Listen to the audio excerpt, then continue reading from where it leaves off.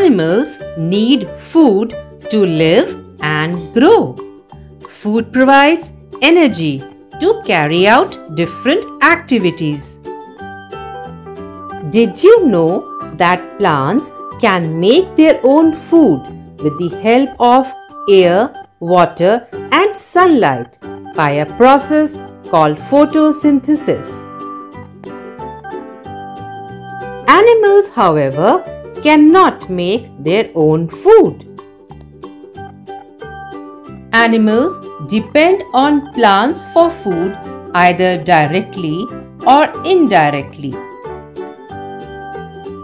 Different animals eat different kinds of food. Some animals eat plants like cow, goat and sheep. Some animals eat flesh of other animals like lion, tiger and wolf. Some animals eat both plants and flesh or meat of other animals like bear, monkey and squirrel.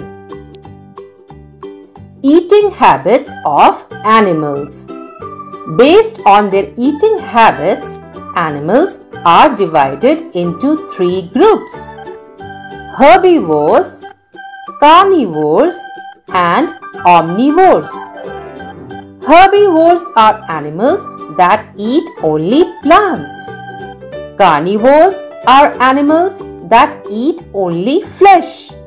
And omnivores are animals that eat both plants and flesh. Now let's learn in detail about these three groups of animals. Herbivores or plant eating animals. Animals like cow, goat and horse are herbivore animals. These animals eat only plants, fruits and vegetables. Some more examples of herbivore animals are elephant, deer, giraffe and zebra. How do animals eat their food? Animals use their teeth to eat their food. Herbivores have flat front teeth to bite grass and leaves and strong and flat grinding teeth at the back to chew their food. Some animals like cow, buffalo and camel swallow their food without chewing it. Later, they bring this food back into their mouth and keep chewing it for several hours. This is called chewing the cud. Now, let's learn about carnivores or flesh-eating animals. Examples of carnivore animals are lion, tiger, leopard, fox and birds like eagle, owl and vulture. Carnivores have sharp, long and pointed front teeth to tear the flesh.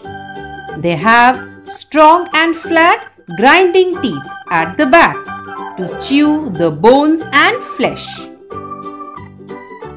Omnivores Omnivores are animals that eat both plants and flesh of other animals.